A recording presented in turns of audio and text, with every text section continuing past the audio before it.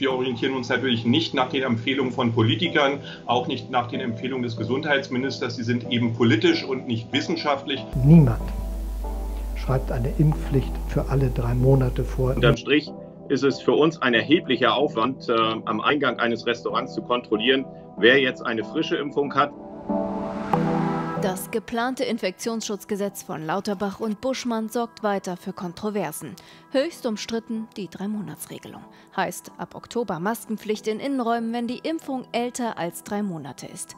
Damit ist aber kein Drei-Monats-Impfabo gemeint, macht nun der Bundeskanzler bei einem Bürgergespräch in seinem Brandenburger Wahlkreis deutlich. Niemand schreibt eine Impfpflicht für alle drei Monate vor. Niemand möchte, dass sich alle Bürgerinnen und Bürger alle drei Monate impfen lassen. Auch der Bundesgesundheitsminister selbst will hier nicht missverstanden werden und erklärte nun in einem Fernsehinterview, die Regelung ist nicht als Impfaufforderung im dreimonatigen Rhythmus zu verstehen. Dies sei, Zitat, abwegig und medizinisch unsinnig. Kritisiert werden auch Lauterbachs Empfehlungen zu einer vierten Impfung für alle. Für den Virologen Jonas Schmidt-Jana sieht, sind die Äußerungen nicht wissenschaftlich und bieten Medizinern keinen Orientierungspunkt. Wir orientieren uns natürlich nicht nach den Empfehlungen von Politikern, auch nicht nach den Empfehlungen des Gesundheitsministers. Sie sind eben politisch und nicht wissenschaftlich. Und darum ist für uns die STIKO die entscheidende unabhängige Kommission, an der wir uns orientieren. Bislang empfiehlt die Ständige Impfkommission den vierten Peaks für Menschen ab 70 Jahren. Lauterbach hatte davon abweichend ihn für alle Altersgruppen angeregt. Dem ZDF Heute Journal sagte er nun allerdings, ich habe nicht gesagt, für alle die vierte Impfung. Ich habe nie gesagt, dass alle jüngeren Leute sich jetzt impfen lassen sollen. Das ist einfach falsch. Vierte Impfung, ja oder nein? Hier im Wahlkreis von Scholz, im brandenburgischen Michendorf bei Potsdam, gehen die Meinungen auseinander. Ich hatte äh, nach meiner Boosterung das erste Mal Corona, habe richtig drei Wochen flach gelegen, habe nach einem halben Jahr wieder Corona bekommen und mir ging es vor vier Wochen wieder richtig, richtig schlecht.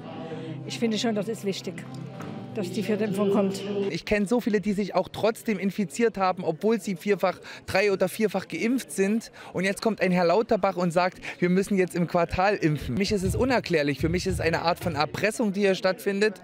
Und ich möchte in so einer Gesellschaft aufschreien. Und letztendlich kann man das ja auch, muss, oder muss jeder das für sich selbst beantworten, ob er halt äh, mit den möglichen Nebenwirkungen leben kann, mit diesem Restrisiko, muss man so sagen, oder ob man sich überzeugen lässt davon, dass doch die meisten Menschen mit einer Impfung, sage ich mal, eine mögliche Infektion oder Infektion halt äh, glimpflich überstanden haben.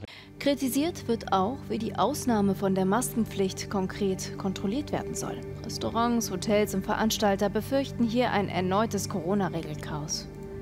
Dieser Kontrollaufwand ist enorm groß und äh, Insofern ist auch die Vorlage, die wir jetzt äh, vom Bundesgesundheitsminister bekommen haben, eben verbesserungswürdig. Unterm Strich ist es für uns ein erheblicher Aufwand, äh, am Eingang eines Restaurants zu kontrollieren, wer jetzt eine frische Impfung hat, wer eine ältere Impfung hat, wer genesen ist, wie lange das zurückliegt.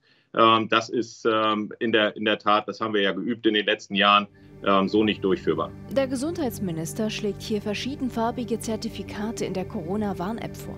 Die farbliche Kennzeichnung würde dann anzeigen, wer von der Maskenpflicht ausgenommen ist und wer nicht.